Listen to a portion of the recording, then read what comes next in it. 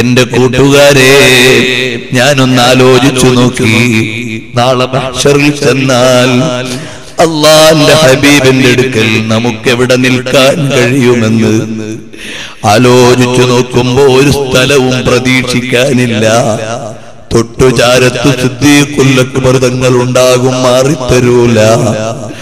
റസൂലുള്ളാന്റെ വെള്ളപാത്രം എടുത്തൊന്ന് കൊടുക്കട്ടെ എന്ന് ചോദിച്ചാൽ റബിയത്തുബിന് കഅബുൽ അസ്ലമി തങ്ങൾ തരൂല ഹബീബായ നബിതങ്ങളുടെ മിസ്വാക്ക് ഒന്ന് എടുത്തു കൊടുക്കട്ടെ എന്ന് ചോദിച്ചാൽ ഇബിന് മസ്ഊദ് തങ്ങൾ മാറിത്തരൂല.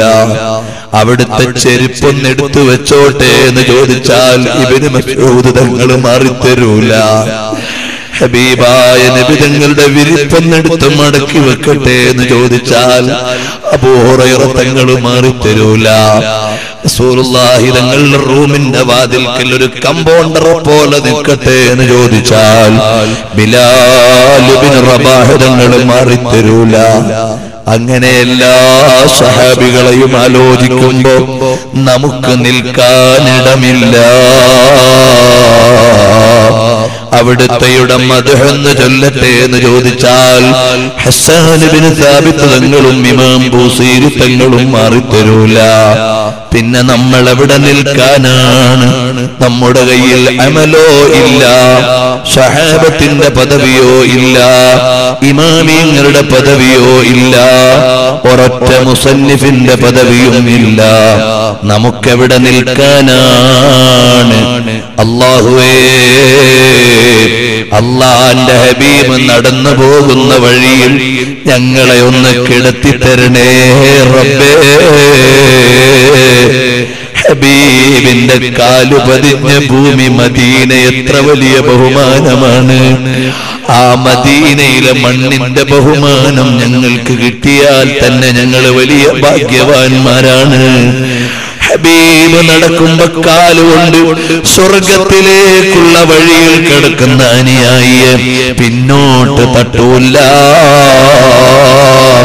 അങ്ങനെ ഹബീബ് തട്ടിയ സാധനം സഹാബത്ത് പിന്നോട്ട് തട്ടൂല്ല അങ്ങനെ എല്ലാവരും തട്ടി തട്ടി അവസാനമെങ്കിലും അള്ളാഹുവിന്റെ ഹബീബിന്റെ മതെഴുതിയ ഉമറുൽ ഖാലി തങ്ങളുടെ ഒപ്പം അതുപോലെ തന്നെയുള്ള മഹാന്മാരുടെ കാലിൽ പറ്റിയിട്ടെങ്കിലും സാധുക്കളായ ഞങ്ങൾ റസൂള്ളന്റെ ചാരത്തൊന്ന് എത്തിച്ചു തരണേ റബ്ബേ.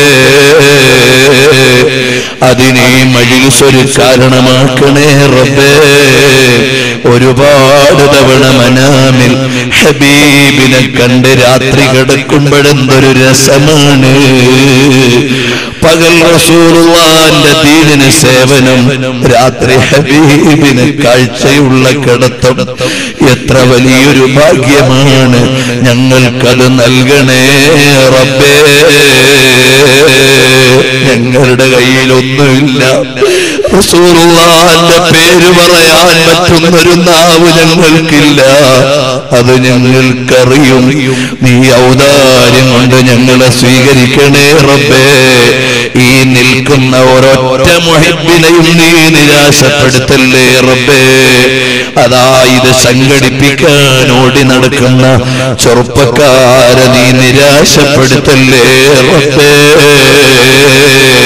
അതാ നമ്മുടെ നൗഫൽ എന്ന പ്രവർത്തകനും റഫീഖ് എന്ന പ്രവർത്തകനും. അതുപോലെ ഫൈസൽ ഞാൻ എണ്ണി പറഞ്ഞാൽ തീരൂല. ഞങ്ങളുടെ പ്രിയപ്പെട്ട കരളിന്റെ കഷ്ണങ്ങളായ സഹോദരങ്ങൾ ഇതിനു വേണ്ടി ഒഴിഞ്ഞു വെച്ച് അധ്വാനിക്കുന്നത് നീ ആഹ്റത്തിലേക്കുള്ളൊരു സ്വത്താക്കണേ റഹ്മാനേ.